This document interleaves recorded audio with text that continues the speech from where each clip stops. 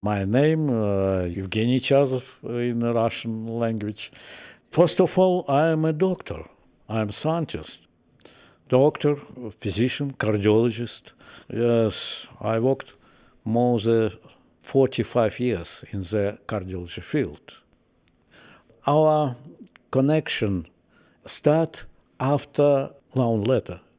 And I, as majority of the population on our planet, being busy with the solution of everyday and personal problems, I did not think about the current uh, situation in the world, which uh, threatened my future well-being.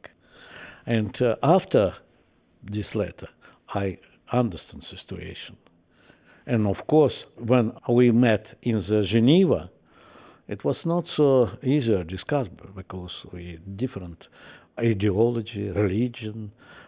My opinion in this discussion, at the first we must now tactics and strategy our future movement.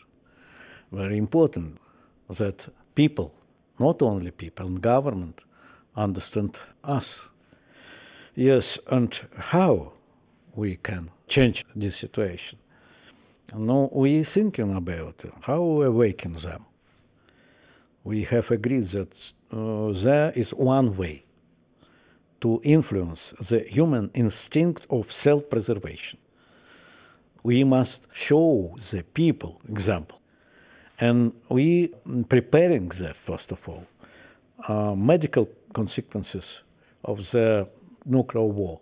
What will be if start nuclear war? If you know this, of course, you must say, why I must be indifferent?